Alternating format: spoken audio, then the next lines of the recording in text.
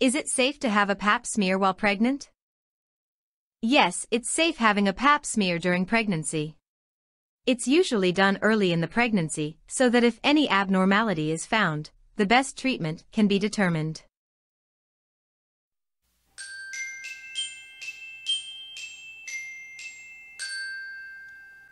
Can a pap test cause a miscarriage?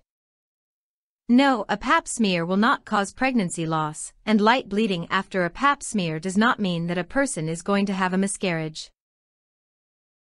As I was saying, I will see you guys in the next video. Thanks for watching.